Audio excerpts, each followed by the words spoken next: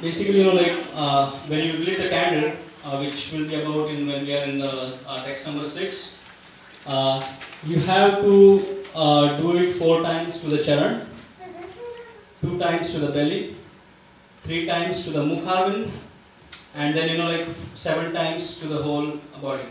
So that's how you know you have to uh, show candle to uh, God. Four, two, three, seven. Yeah, four, two, three, seven.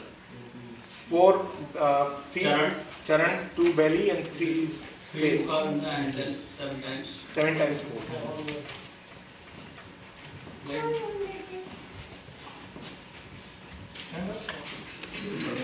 नमामीश्वरं सच्चिदानन्दरूपा